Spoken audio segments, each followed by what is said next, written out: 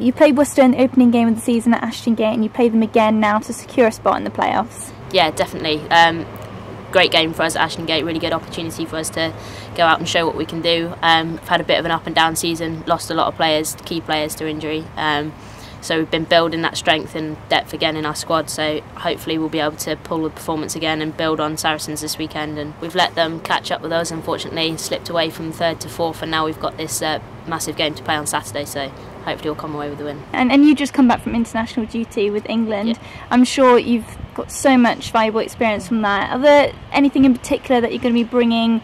Back to Bristol and especially to this game on Saturday? I think just the level of communication on the pitch uh, is massively up for myself. I've become more of a leader within the team, um, so bringing that back in and just keeping calm, doing the basics well rather than trying to do too much. As I said before, I think we're guilty at Bristol of trying to do too much and play this champagne rugby all the time. And actually, if we just do basics well, then we'll come away with a lot more success than, than we have in the last couple of games.